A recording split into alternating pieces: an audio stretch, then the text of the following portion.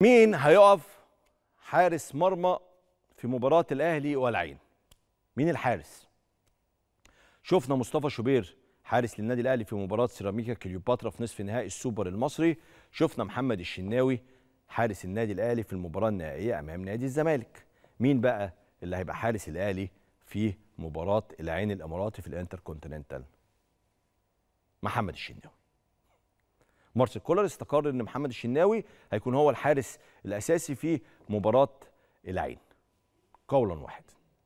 عشان بس إيه تسمعوا كلام كتير الفترة اللي جاية ولخبطة كتير كل شوية في القصة دي بس محمد الشناوي بالنسبة لمارسيل كولر هو الحارس الأساسي للفريق. فدي حكاية.